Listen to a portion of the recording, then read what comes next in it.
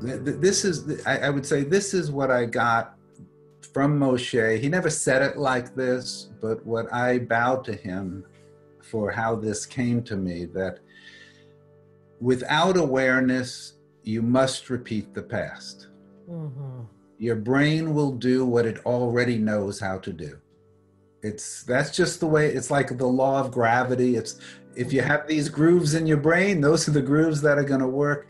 So if we consider the ability to respond in new ways to our life as well what is freedom if you don't have the ability to respond in new ways so so if if we look at freedom in a very strict definition new responses that awareness is a prerequisite mm-hmm.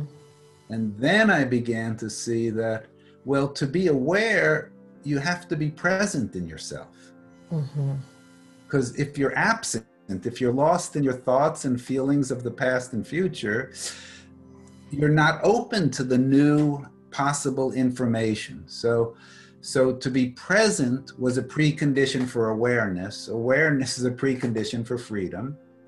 And then I realized this fabulous discovery of Moshe and, and some others, but he really nailed it, in my opinion, is that embodiment is a doorway to being present. That to be embodied, to be here, like if the people listening right now can can take a moment and just feel their bottom on their seat if they're sitting.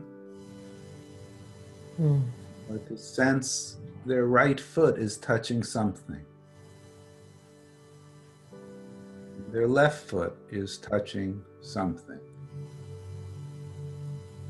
and just you can still hear my voice but just doing that brings you into present moment mm-hmm. you can't feel your bottom and your feet and be thinking about dinner you're, you're, you're here and the here-ness of embodiment is what brings us to presence awareness and the possibility of responding in new ways to your partner when they give you that look.